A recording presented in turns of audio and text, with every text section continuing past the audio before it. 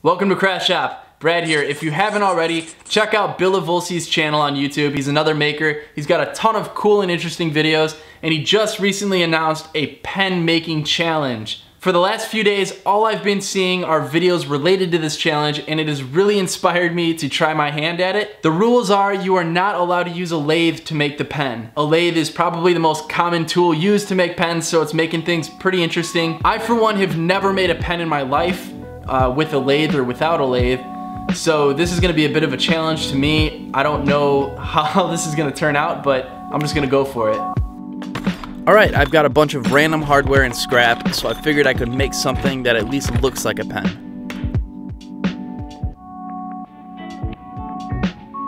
All right, time to tear apart a pen and steal the ink tube.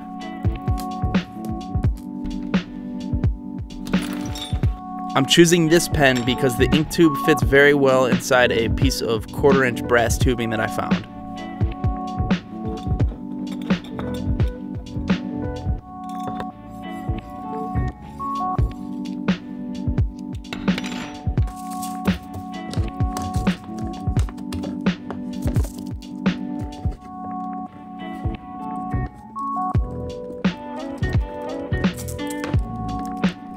I'm centering a quarter inch tube into a larger diameter tube. In order to keep the position, I fill the void with epoxy.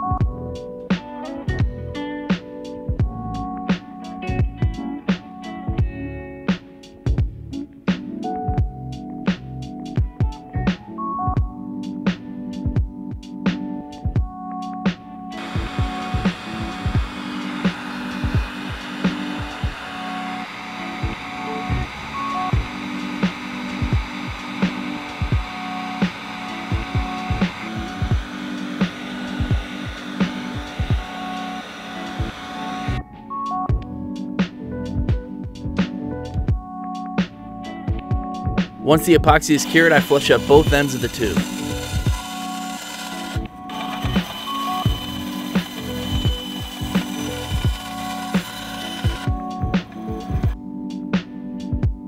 And just a quick test fit of the ink tube. It's a little bit tight, so I'm gonna go ahead and sand it just a little bit.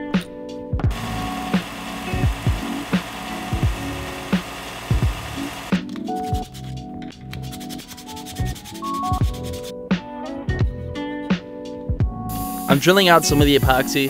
I'm going to be inlaying a nut that will serve as the point of the pen. I probably could have used a little bit less epoxy to begin with, but I'm literally making this up as I go.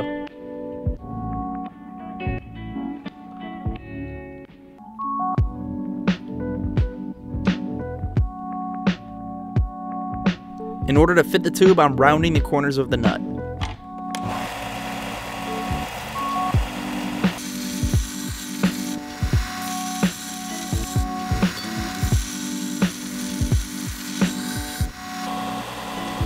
Now I'm flattening the top.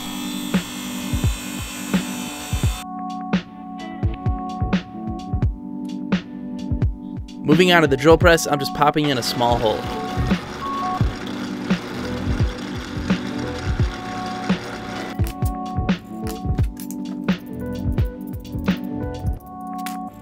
After some filing and shaping, I've exposed the threads.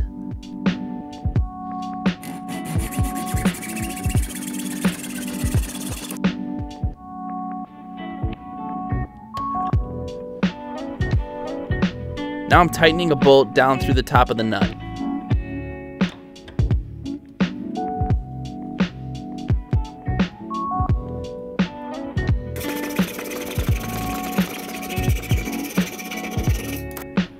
I'm left with a short cylinder extension.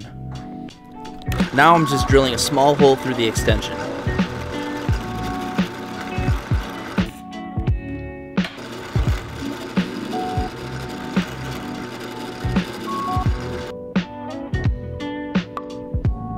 Now that I have my hole made, I clean off my pieces and solder them together.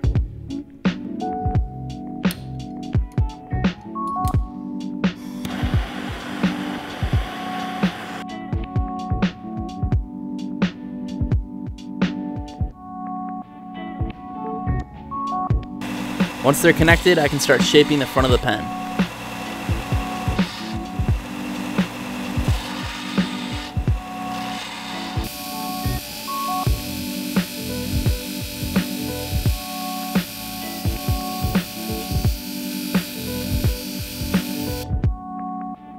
You can see I've worked this down into a cone shape.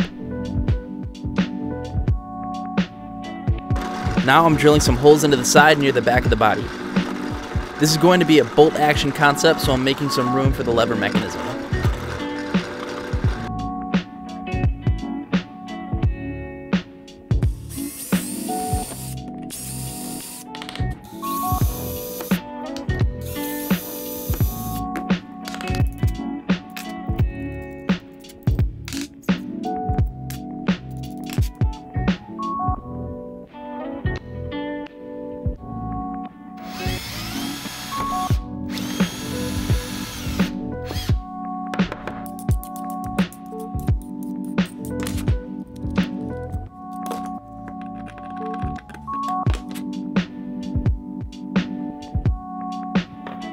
Back to the scrap bin to find a lever.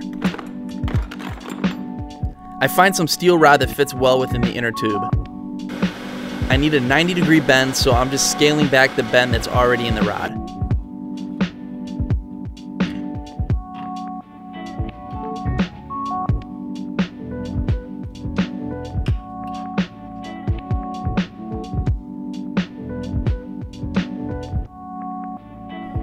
Time for a test fit with the lever.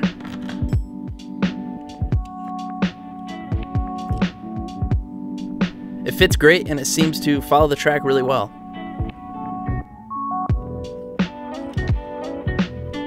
It's a lot bigger than I need, so I'm going to cut it down to size.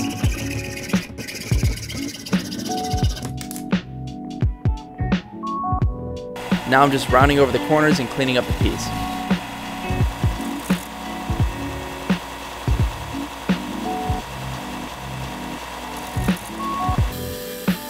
I'm also cleaning up the pen body on the slack portion of the belt sander.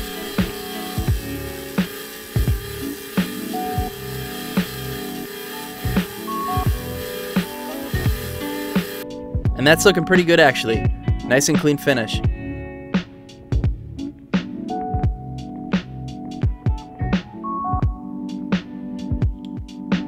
Alright, I've inserted the ink tube and now I'm just testing the function of the bolt action design.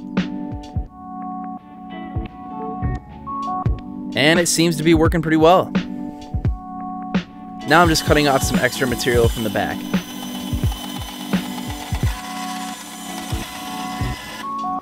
Alright, moving on to texturing the pen body. I'm just creating a bit of a rough stone finish with my Dremel tool.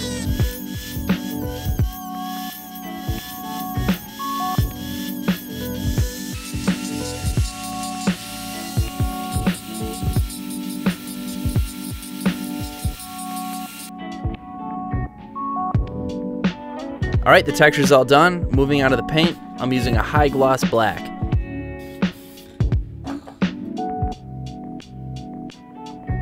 After it's all dry, I hand sand it starting low and moving up to about 400 grit.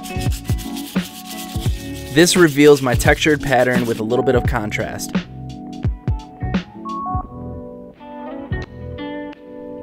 Now I can go ahead and assemble the inner components. Once more, I'm checking the bolt action lever, making sure it works well with the spring and the ink tube. And I found another one of these nuts laying around. I'm going to go ahead and use this as the back. And I'm just using some heavy duty Loctite epoxy to attach it.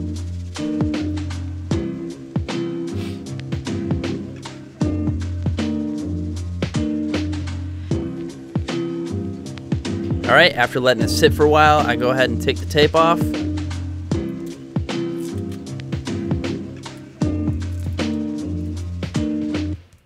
And there is the final pen. I'm really happy with the way this came out. It looks like it would be pretty heavy, but it's actually very light. I'm not using heavy materials here, but it is very tough. I dropped this off my workbench a few times and it's in great shape still, and I expect this to last quite a while.